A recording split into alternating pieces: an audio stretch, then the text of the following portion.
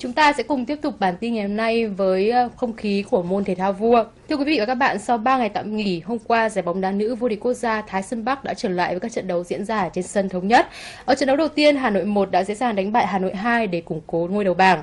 Tuy nhiên, một bất ngờ đã xảy ra khi đương kim Á quân Phong Phú Hà Nam thua đậm đội chủ nhà Thành phố Hồ Chí Minh ngay trong lượt trận thứ ba này.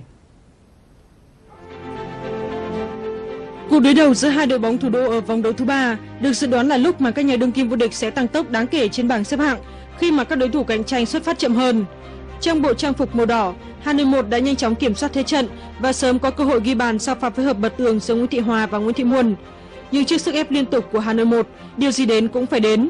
Bàn thắng một tỷ số được thực hiện cho đội đương kim vô địch bởi Cao Thị Biên với một pha xử lý gọn ghẽ ở phút thứ 8. Đây là năm đầu tiên mà tuyển thủ U19 quốc gia này được đôn lên đội 1 và Cao Thị Biên đã có màn ra mắt khá ấn tượng. Không chỉ góp công mở tỷ số, cầu thủ trẻ này còn thường xuyên xuất hiện trong các pha tấn công của đội nhà. Chỉ trong hiệp 1, Khung Thành đã hai lần cứu thua cho Hà Nội 2 sau những pha dứt điểm của Nguyễn Thị Muôn và Kim Tiến.